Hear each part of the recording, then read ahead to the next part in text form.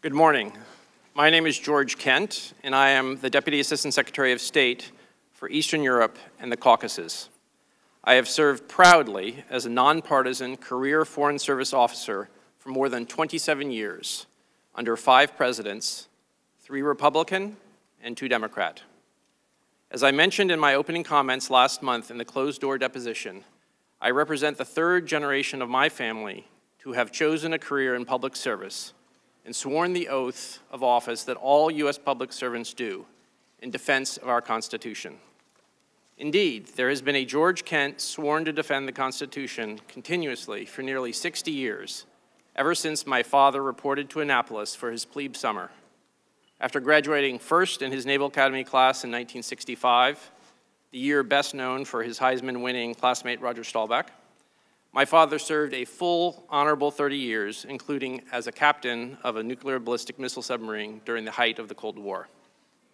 Five great uncles served honorably in the Navy and the Army in World War II. In particular, Tom Taggart was stationed in the Philippines at the time of the attack on Pearl Harbor. He survived the brutal Bataan Death March and three and a half years in a Japanese prisoner of war camp unbroken. He returned to service as an Air Force judge advocate upholding the rule of law until his death in 1965. Today, I appear before you once again, under subpoena, as a fact witness, ready to answer all of your questions about the events and developments examined in this inquiry, to the best of my ability and recollection, subject to the limits placed on me by the law and this process. I will begin with some opening comments on the key principles at the heart of what brings me before you today. To wit, principled public service in pursuit of our enduring national interests and the place of Ukraine in our national and security interests. For the past five years, we have focused our united efforts across the Atlantic to support Ukraine in its fight for the cause of freedom and the rebirth of a country free from Russian dominion and the warped legacy of Soviet institutions and post-Soviet behavior. As I stated in my closed-door deposition last month, you don't step into the public arena of international diplomacy in active pursuit of principled U.S. interests without expecting vigorous pushback, including personal attacks. Such attacks came from the Russians, their proxies, and corrupt Ukrainians. That tells me our efforts were hitting their mark. It was unexpected and most unfortunate, however, to watch some Americans including those who allied themselves with corrupt Ukrainians in pursuit of private agendas, launch attacks on dedicated public servants advancing U.S. interests in Ukraine. In my opinion, those attacks undermined U.S. and Ukrainian national interests and damaged our critical bilateral relationship. The United States has very clear national interests at stake in Ukraine. Ukraine's success is very much in our national interest in the way we have defined our national interest broadly in Europe for the past 75 years. After World War II, U.S. leadership furthered far-sighted policies like the Marshall Plan in the creation of a rules-based international order. Protected by the collective security provided by NATO, Western Europe recovered and thrived after the carnage of World War II, notwithstanding the shadow of the Iron Curtain. Europe's security and prosperity contributed to our security and prosperity. Support of Ukraine's success also fits squarely into our strategy for Central and Eastern Europe since the fall of the wall 30 years ago this past week. A Europe truly whole, free, and at peace, our strategic aim for the entirety of my Foreign Service career, is not possible without a Ukraine whole, free, and at peace, including Crimea and the Donbass, territories currently occupied by Russia, represented by the red in the map. Looking forward, the Trump administration's national security strategy makes clear the global strategic challenge now before us. Great power competition with rivals such as Russia and China and the need to compete for positive influence without taking countries for granted. In that sense, Ukraine has been on the front lines not just of Russia's conventional war in Eastern Europe since 2014 and its broader campaign of malign influence, but of the greater geopolitical challenges now facing the United States. Ukraine's popular revolution of dignity in 2014 forced a corrupt, pro-Russian leadership to flee to Moscow. After that, Russia invaded Ukraine, occupying 7% of its territory, roughly equivalent to the size of Texas for the United States. At that time, Ukraine's state institutions were on the verge of collapse. Ukrainian civil society answered the challenge. They formed volunteer battalions of citizens, including technology professionals and medics. They crowdsourced funding for their own weapons, body armor, and supplies. They were the 21st century Ukrainian equivalent of our own Minutemen of 1776, buying time for a regular army to reconstitute. Since then, more than 13,000 Ukrainians have died on Ukrainian soil defending their territorial integrity and sovereignty from Russian aggression. America's support in Ukraine's own de facto war of independence has been critical in this regard. By analogy, the American colonies may not have prevailed against the British imperial might without the help of transatlantic friends after 1776. In an echo of Lafayette's organized assistance to General George Washington's Army and Admiral John Paul Jones's Navy, Congress has generously appropriated over $1.5 billion over the past five years in desperately needed trained and equipped security assistance to Ukraine. These funds increase Ukraine's strength and ability to fight Russian aggression. Ultimately, Ukraine is on a path to become a full security partner of the United States within NATO. Similar to von Steuben training colonials at Valley Forge, U.S. and NATO allied trainers developed the skills of Ukrainian units at Yavoriv near the Polish border and elsewhere. They help rewrite military education for Ukraine's next generation, as von Steuben did for America's first.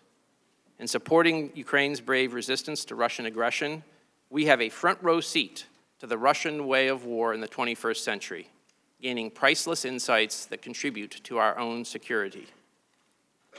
This year, in 2019, Ukrainian citizens passed the political torch to a new generation, one that came of age not in the final years of the Soviet Union, but in an independent Ukraine presidential and parliamentary elections swept out much of Ukraine's previous governing elite and seated 41-year-old President Zelensky, a cabinet with an average age of 39, and a parliament with the average age of 41.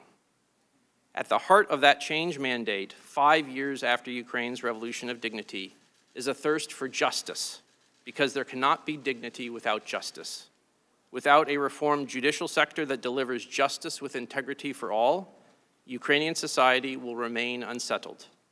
Foreign investors, including American investors, will not bring the great investment needed to ensure that Ukraine's long-term prosperity is secured. This is why the principled promotion of the rule of law and institutional integrity is so necessary to our strategy for a successful Ukraine. It is also true for other former captive nations still recovering from the ashes of Soviet and communist misrule. It is why acting inconsistently with the core principle of the rule of law comes at great peril. I am grateful to all of the members of Congress and staffers, including many of you sitting here today, who have traveled to Ukraine over the past five years and appropriated billions of dollars of assistance in support of our primary policy goals. Those funds increase Ukraine's ability to fight Russian aggression in the defense, energy, cyber, and information spheres, and they also empower state institutions and civil society to undertake systemic reforms and tackle corruption. I believe all of us can be proud of our efforts in Ukraine over the past five years, even though much remains to be done. And by all of us, I mean those of us in the legislative and the executive branches, in both parties, the interagency community working out of our embassy in Kiev, with Ukrainians in government, the military, and civil society, and our transatlantic allies and partners. We cannot allow our resolve to waver since too much is at stake, not just for Ukraine and the future of European security, but for the national interests of the United States broadly defined. My prior deposition covered a lot of ground over 10 hours. Here are the main 10 themes for my testimony. I outlined my experience with longstanding U.S. interest in supporting anti-corruption efforts in Ukraine. This work gave me a front row seat to problematic activities by successive prosecutors general in Ukraine. For many of the issues this committee is investigating, my knowledge and understanding is sometimes firsthand, and sometimes comes from others involved in specific conversations and meetings. This is no different than how anyone learns and carries out his or her job responsibilities. I have been and remain willing to share my factual observations with the committee and will make clear when those are based on personal knowledge or from information gleaned from others. U.S. efforts to counter corruption in Ukraine focus on building institutional capacity so that the Ukrainian government has the ability to go after corruption and effectively investigate, prosecute, and judge alleged criminal activities using appropriate institutional mechanisms. That is, to create and follow the rule of law.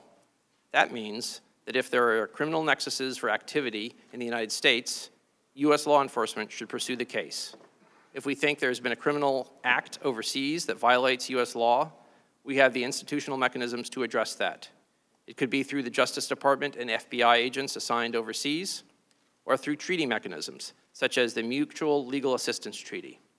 As a general principle, I do not believe the United States should ask other countries to engage in selective, politically associated investigations or prosecutions against opponents of those in power because such selective actions undermine the rule of law, regardless of the country. The pervasive and longstanding problem of corruption in Ukraine included exposure to a situation involving the energy company Burisma. The primary concern of the U.S. government since 2014 was Burisma's owner, Mykola Zlochevsky, whose frozen assets abroad we had attempted to recover on Ukraine's behalf. In early 2015, I raised questions with the Deputy Prosecutor General about why the investigation of Mr. Zlochevsky had been terminated, based on our belief that prosecutors had accepted bribes to close the case. Later, I became aware that Hunter Biden was on the board of Burisma.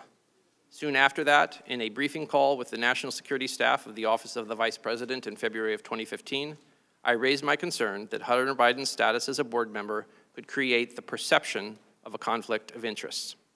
Let me be clear, however, I did not witness any effort by any U.S. official to shield Burisma from scrutiny.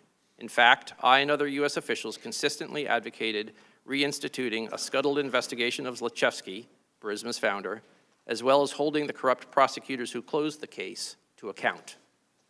Over the course of 2018 and 2019, I became increasingly aware of an effort by Rudy Giuliani and others, including his associates Lev Parnas and Igor Fruman, to run a campaign to smear Ambassador Yovanovitch and other officials at the U.S. Embassy in Kiev. The chief agitators on the Ukrainian side of this effort were some of those same corrupt former prosecutors I had encountered, particularly Yuri Lutsenko and Viktor Shokin.